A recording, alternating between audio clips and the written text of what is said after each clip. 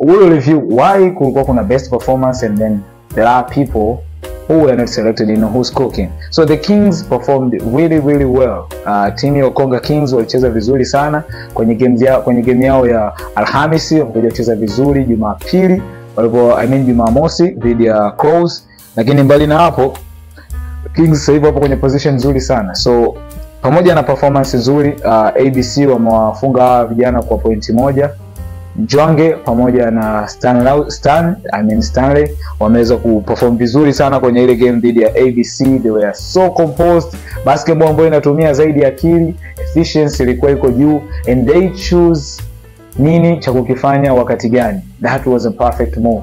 So we don't have to sleep on them kwa sababu they are coming. It's just that their team haiko balanced na we don't know uh, Kapongo na management ya Ukonga Kings wana mipango gani, lakini baada ya dirisha dogo I think dynamic ya basketball ya basketball Dar es Salaam League itakuwa way way different. So right now mpaka sasa outsiders are cooking right now especially kwenye BBL. outsiders they are 10 and 0 hawajapoteza mechi hata moja wameshinda all their games. So someone anaweza akasema kwamba outsiders walikuwa wana timetable yao ilikuwa ni nyepesi which is true. Uh, ukiangalia teams nyingi ambazo outsiders ambazo ameshazifunga mpaka amecheza mechi yake ya sita au ya saba zilikuwa ni teams ambazo ziko below average. Lakini mechi aliyopangiwa next ilikuwa ni JKT JKT waka uh, hiyo tutaisemea baadaye lakini baada ya JKT outsiders kaja kacheza na Savio then amekuja kucheza na Chui ambapo zote game zote ameweza kushinda na mpaka sasa hivi ana kumi bila. Do you remember the history ya UDSM outsiders? For the past three years outsiders wanatoka kwenye robo finals. So season ya kwanza ambao Savio walichukua ubingwa wakiwa hapo na uh, the baddest Hashim Thabit uh, Ashim, I mean, Ashim and Savio Basketball waliweza kuwatoa timu ya outsiders ikiwa the Nyangin ikiongozwa na uh, the baddest the man himself anajiita Black Sope. Uh, wakicheza chini ya coach ambaye alikuwa ni Lloyd ambaye aliweza kuperform kuiongoza hii timu vizuri sana na wakatoka kwenye robo finali dhidi ya outsiders dhidi ya Savio. Japokuwa mfumo ulikuwa uko tofauti kidogo but either way it was quarter finals Uh, baada ya hapo mwaka uliofuatia outsiders wakuja kucheza tena wakatolewa kwenye robo fainali mwaka uliofuatia tena wakaja wakatolewa tena robo fainali ambao ni mwaka jana na tuliona walitoa robo fainali na JKT katika best of three akapoteza mechi mbili katika moja. Katika ile robo fainali ndo the only team ambayo ilitolewa kwa kufunga the other team kwa kumfunga opponent wake. So hiyo ilikuwa ni nzuri sana kwa outsiders and this time management ya outsiders na outsiders as a whole wameona hawana mpango tena wa kuishia robo fainali. so so far mpaka sasa uh, inaonyesha ni one of the contenders championship contenders kwa sababu performance ni kubwa sana the chemistry ambayo inapatikana kwa baraka sabibi uh, tyron edwards mwalimu heri kijogoo jimmy brown na the man himself the point guard who is cooking right now the cooking point guard in tanzania naye si mwingine ni evans davis aka ya wanaomfahamu kwa ukaribu wanaweza akamalizia so tumsikilize evans davis akizungumzia performance yao ya UDSM outsiders na jinsi gani ambavyo waliweza kucheza na last game ambao waliweza kumfunga kwenye hii game ambao wao waliweza kumfunga savio na evans alikuwa ndo mchezaji pekee ambaye aliweza kuwafanya pakaa katika mstari.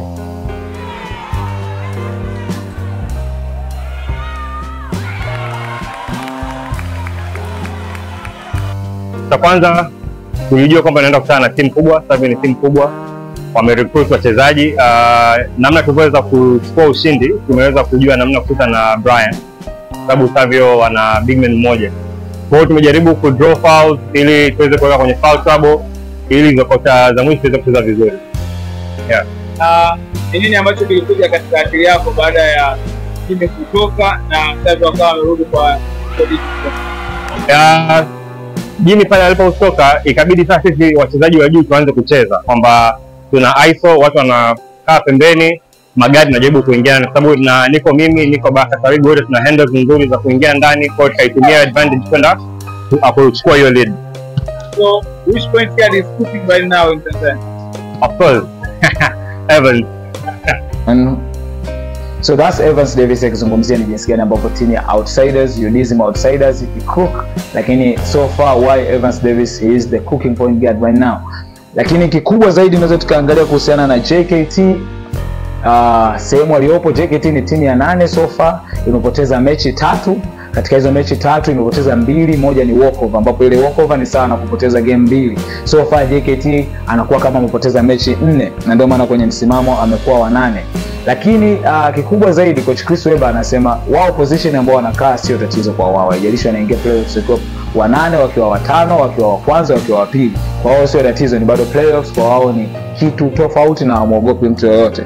So that's JKT na huyo ndo coach Chris Webber akielezea in details kuhusiana na why waogopi hizo position lakini so far nini kilichosababisha mpaka timu ya JKT pamoja na tetesi zilizopo kwamba management ya JKT ilitoa taarifa kuhusiana na walkover walioitoa kwa outsiders 2 or plus days before uh, game haijachezwa na hawakujibiwa kwa barua uh, na timu na timu nzima ya BDL na ndio kilichosababisha mpaka wao show up kwenye game. Yeye yeah, anaelezea in details nini ambacho kilijiri kwenye kwenye uh, kwenye that issue lakini kwa nini wao waogopi kupoteza game yoyote au kuwa katika position yoyote kwenye playoffs?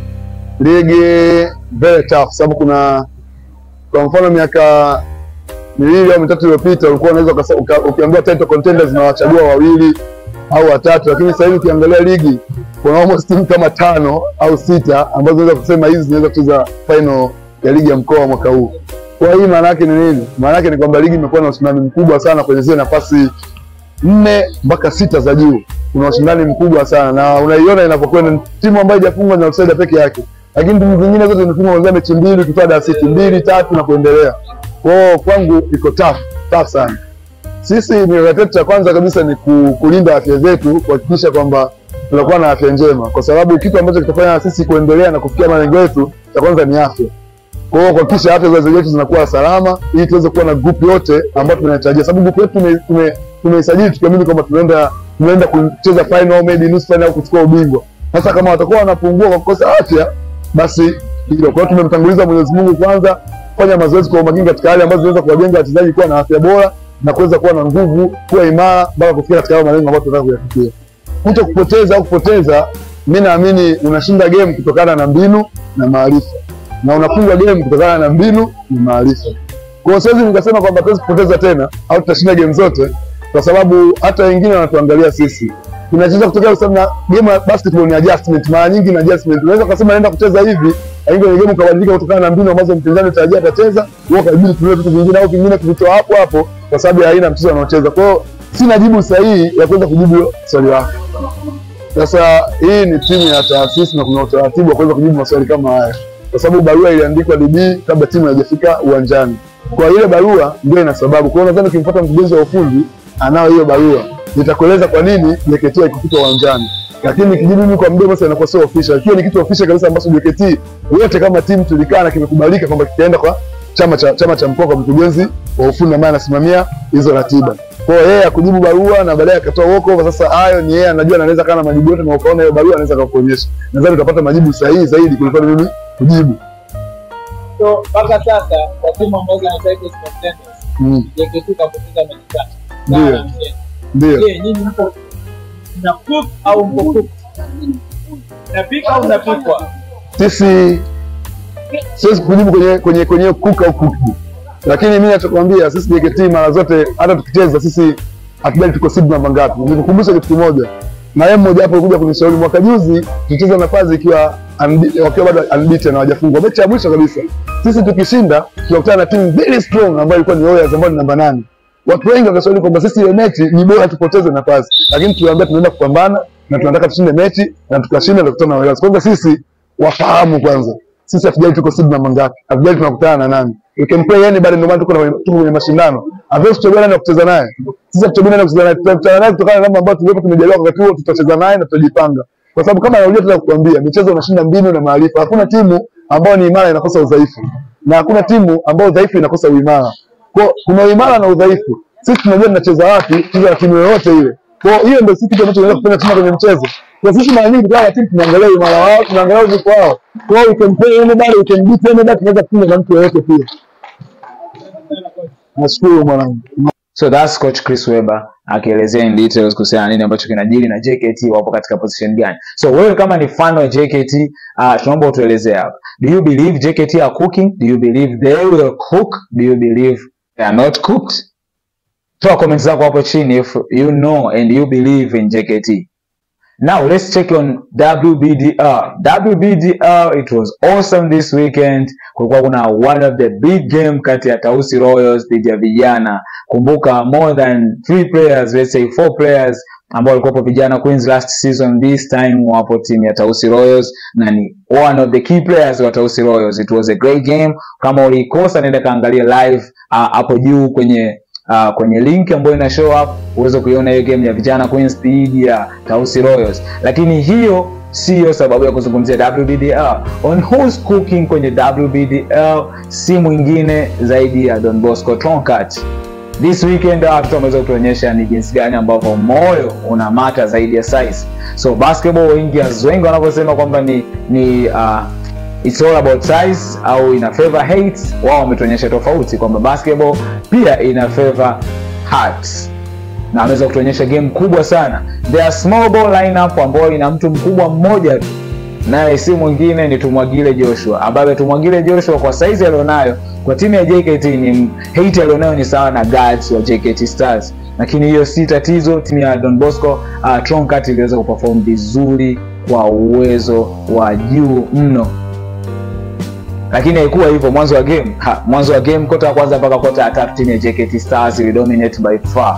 Na waliweza kuperform vizuri waliweza kutumia mismatches pale chini waliweza kuscores kutokea kwa Noro. Na game ilikuwa ni tamu na ni nzuri sana. Uh, mwanzoni mashabiki wote wa Don Bosco Tronkat walikuwa wana panic tu wanapoteana. Ndugu yangu Bruno Ngatena aliweza kuwa alikuwa anatoka mchezoni kila muda kwa sababu tu timu ya Don Bosco Tronkat inapigwa by far. So the game ilianza, JKT alifunga tisa kwa moja.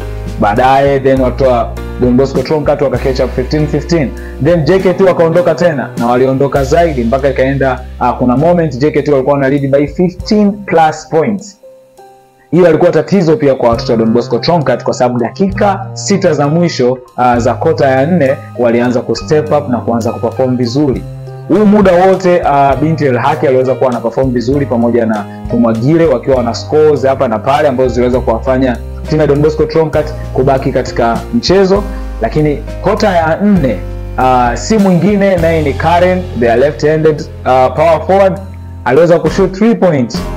Kila mtu alishangaa, mimi mwenyewe nilikuwa niko amazed uh, kumwona binti Karen akiscore 3 point nje ya 3 point line lakini kilichotokea aliscore, akaja akaattempt tena akascore, uwanja mzima ukainuka. Lakini kilichokuja kutokea kikubwa zaidi, jeska Lenga aka take over the game. As we all know all point gods do. Like what Evans Davis alivyofanya kwa timu ya Savio na Jessica Lenga akachukua hatua vile vile, kwa sababu game ilikuwa nzuri sana kwa her teammate ambaye ni Irene. Akuperform vizuri sana on offense, lakini aliweza kukaba vizuri sana on defensive end.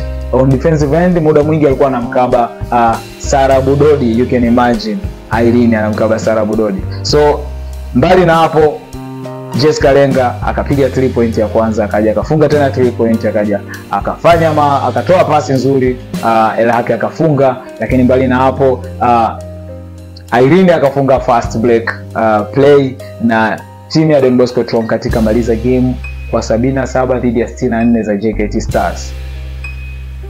I was amazed. The whole crowd was amazed. These girls are cooking so far. So make sure una show up kwenye game zote za Don Bosco Tronkat ili uweze kuenjoy the game na kuangalia ni nini ambacho kinaendelea. We don't want to see the future itakuwaje, lakini so far mpaka sasa Don Bosco Tronkat are cooking na wameweza kutuonyesha kitu cha tofauti zaidi kwenye basketball ambayo tunaicheza hapa Tanzania.